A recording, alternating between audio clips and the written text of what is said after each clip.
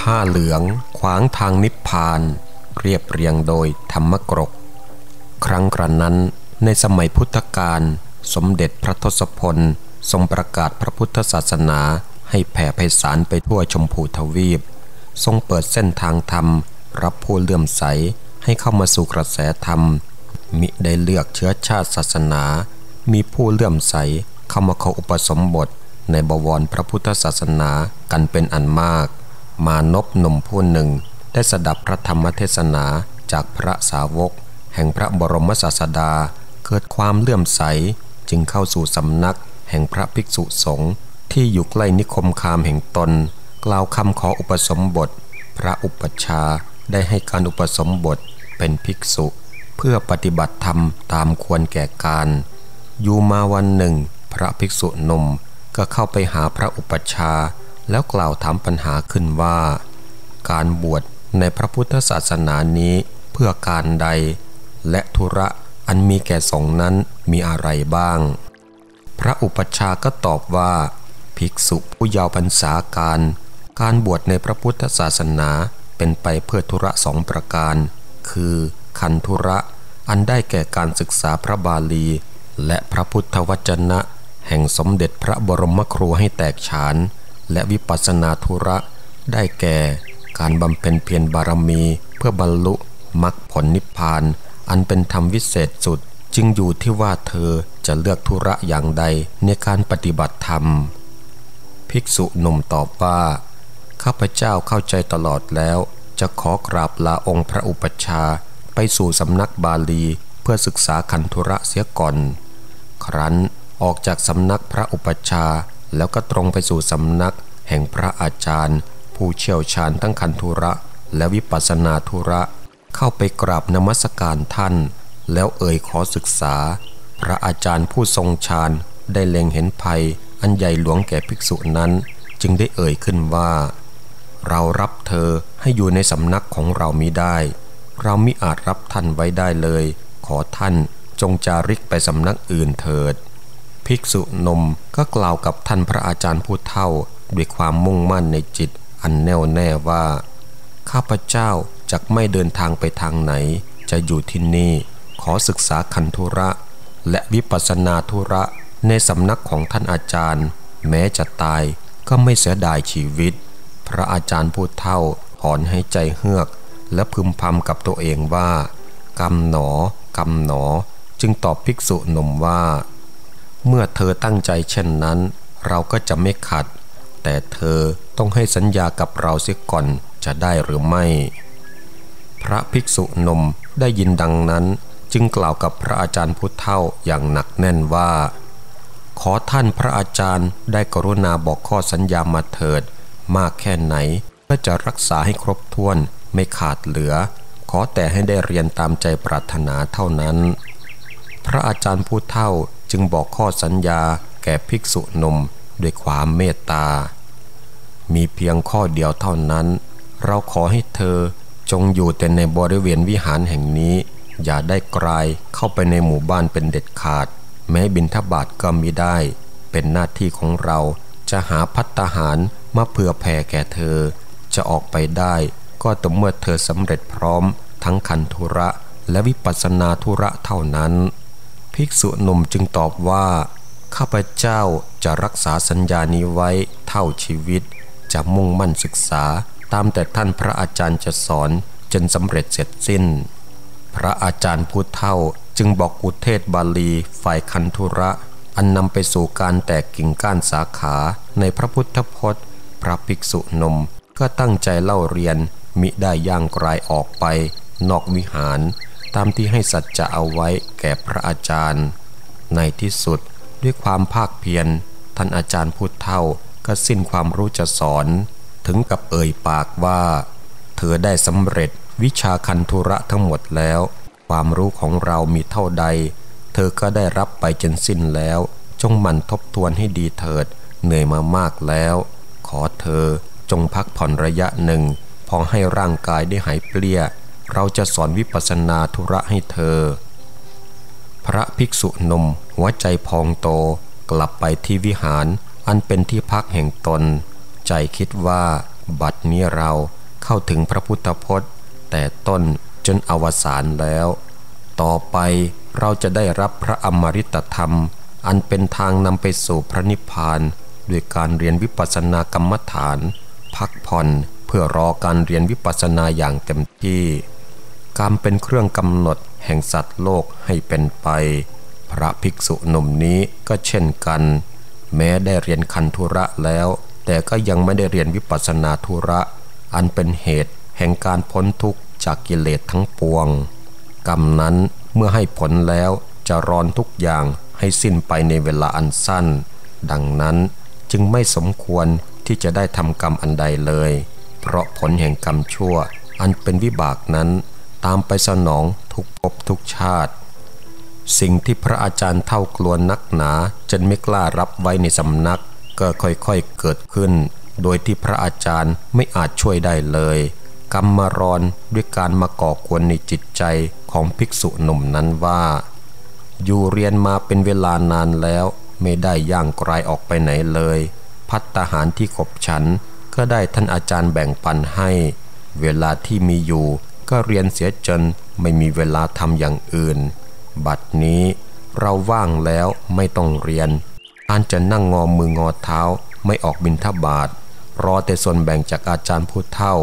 ซึ่งแข้งขาหูตาไม่ค่อยเห็น ต้องมาลำบากออกบินทบาทเพื่อเลี้ยงเรา อย่ากระนั้นเลย พรุ่งนี้เราจะสะพายบาทเข้าสู่หมู่บ้านสแสวงหาพัตหาร อันมีรสโอชา มาถวายท่านพระอาจารย์ของเราดีกว่า กรรมทำให้ลืมคำมั่นสัญญาต่อพระอาจารย์จนหมดสิ้น หยิบบาทมาทำความสะอาด แล้วนอนกระยิมว่า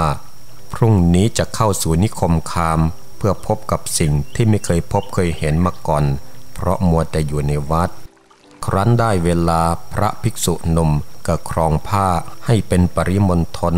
อันสมควรแก่สมณะสะพายบาท ออกโปรดสัตว์ในหมู่บ้าน ผ่านบ้านเศรษฐีตระกูลหนึ่งในหมู่บ้านที่ดาแห่งเศรษฐีวัยกำดัดออกมายืนใส่บาตรเธอห่มผ้าทอสีเหลืองระยับตา ขับผิวของเธอให้ดูเด่นหน้าปฏิพัทธ์เป็นอย่างยิ่ง เมื่อเห็นภิกษุนมเดินผ่านมาก็ส่งเสียงนิมนต์ว่า พระคุณเจ้าผู้เจริญ ขอได้หยุดรับบิณฑบาตจากขั้นน้อยด้วย พระภิกษุนม หยุดยืนรอที่ดาสาวของเศรษฐี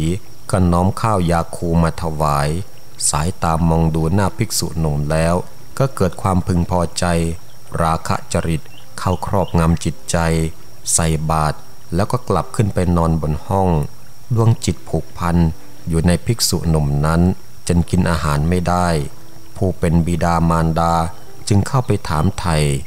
นางก็เล่าความไม่ปิดบัง ว่าใส่บาตรพระนมองค์นั้นแล้ว มีจิตใจผูกพันอยากได้ไว้เป็นคู่ครอง หากไม่ได้มาเป็นสามีแล้วก็จะยอมตายไม่หมายชายอื่นอีก เป็นธรรมดาแห่งบิดามารดา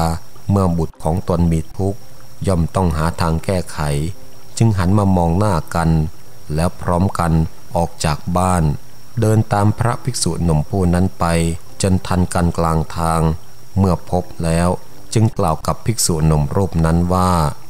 นิมนต์รับพัตหารที่บ้านของเราทั้งสองด้วยเถิด ภิกษุตอบว่า เรารับไม่ได้ วันนี้เราได้พัตหารเพียงพอแก่การดำรงชีพแล้วเศรษฐีจึงกล่าวต่อไปว่า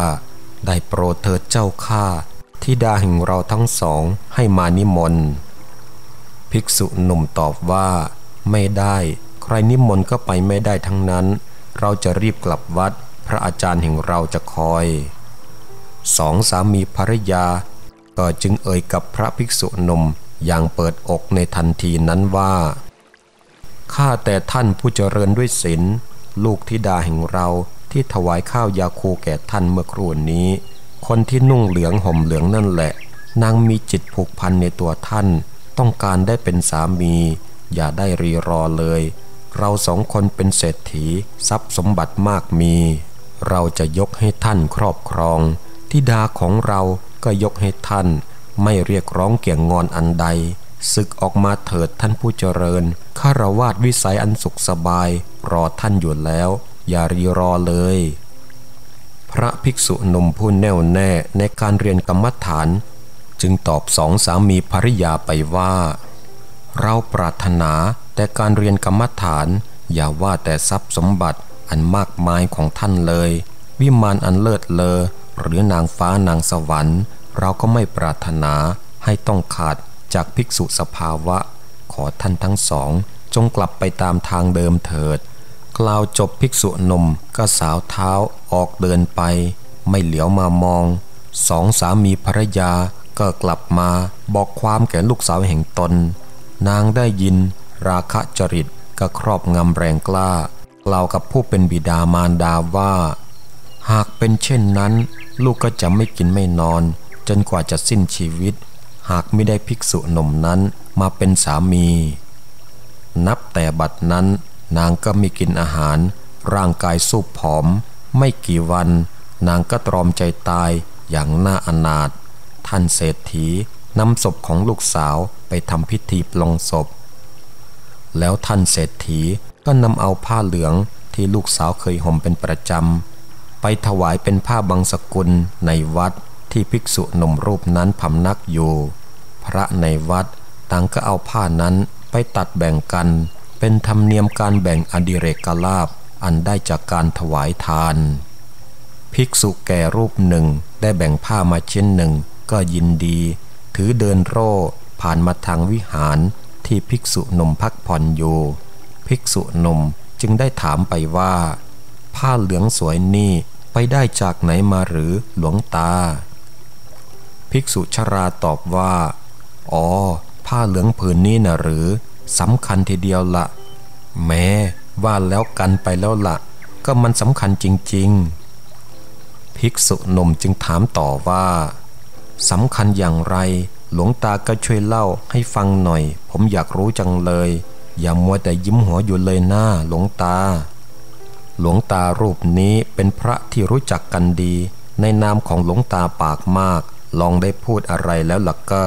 ต้องพูดยืดยาวและไม่จบง่ายๆ พอได้ทีก็เลยสาธยายความเป็นมาของผ้าเหลืองผืนนั้น อย่างสนุกปาก ผ้าเหลืองนี่บาดสวยแล้วนา เจ้าของที่ห่มผ้านี้ยิ่งสวยกว่า เป็นสาววัยกำดัดกำลังแรกรุ่นดารุณีแต่เสียดายมาตายเสียแต่ยังสาวๆไม่น่าเลย เขาว่ากันว่ามีภิกษุหนุ่มหน้าโง่รูปหนึ่ง เข้าไปบินทบาทในหมู่บ้าน แล้วพบเธอเข้า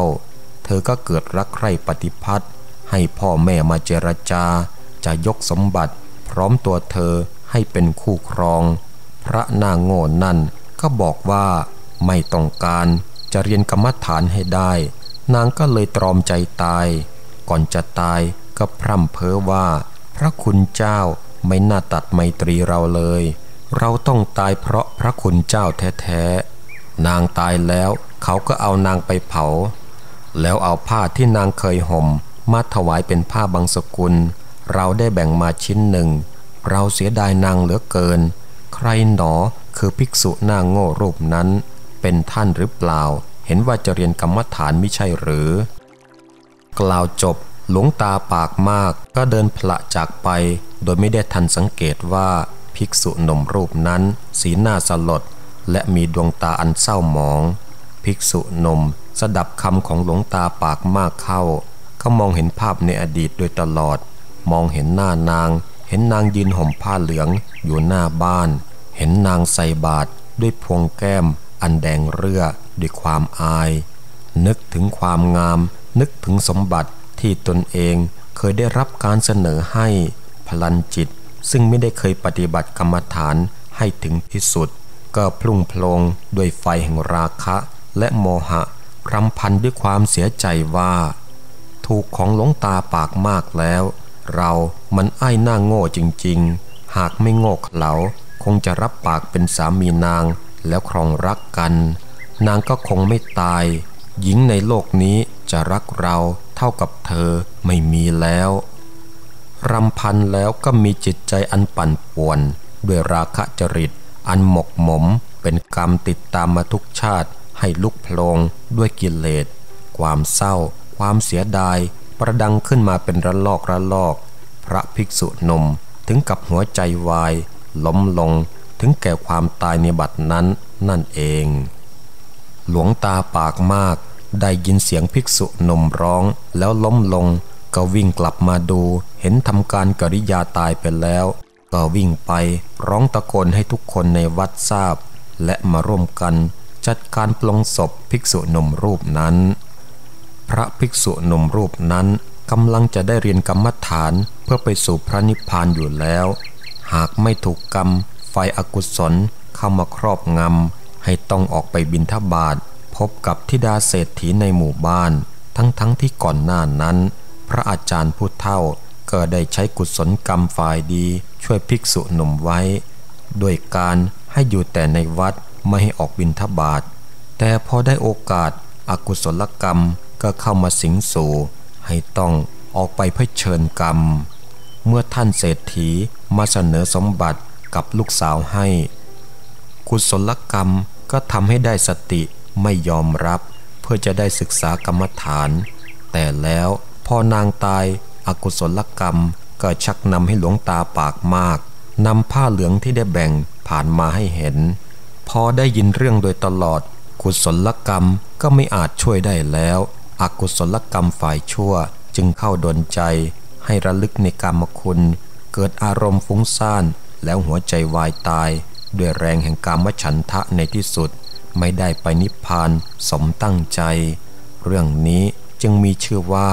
ผ้าเหลืองขวางทางนิพพานด้วยเหตุดังนี้แล